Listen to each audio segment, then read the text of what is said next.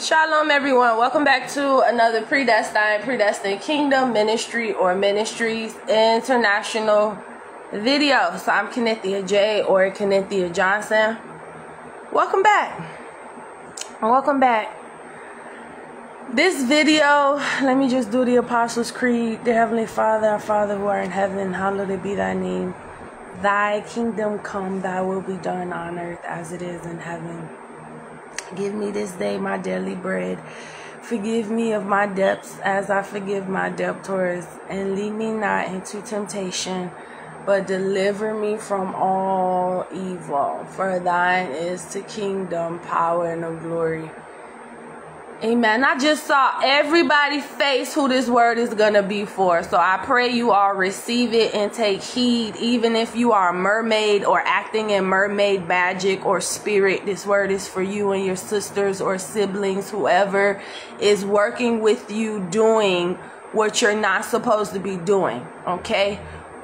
This word is for everybody who the Lord has driven out and they refuse to leave or stop coming against what He's putting together.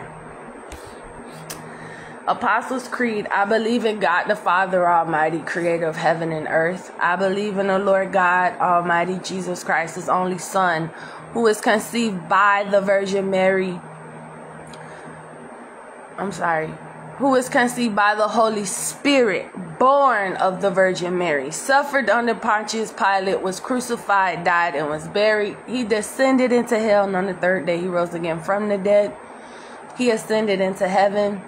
And right now he's seated at the right hand of the Heavenly Father Almighty. And from there he's coming to judge the living and the dead. I believe in the Holy Spirit, the Holy Catholic Church, the communion of saints, the Christianity Church, the communion of saints, the forgiveness of sins, the resurrection of the body, and the life everlasting. What is this? Jeremiah 8, verse 3. Then death shall be chosen rather than life by all the residue of those who remain of this evil family, who remain in all the places where I have driven them, says the Lord of hosts. Then death shall be chosen rather than life by all the residue of those who remain and all the places where I have driven them out, says the Lord of hosts. If you don't know, the Lord of hosts is the Lord God Almighty Jesus Christ. This is a scripture to confirm what I've been saying on these videos and to confirm my prayers. Okay?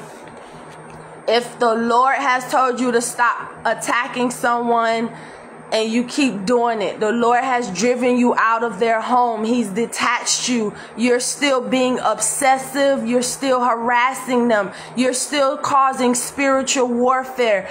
Then death shall be chosen rather than life. Because the Lord has driven you out himself and you told him no.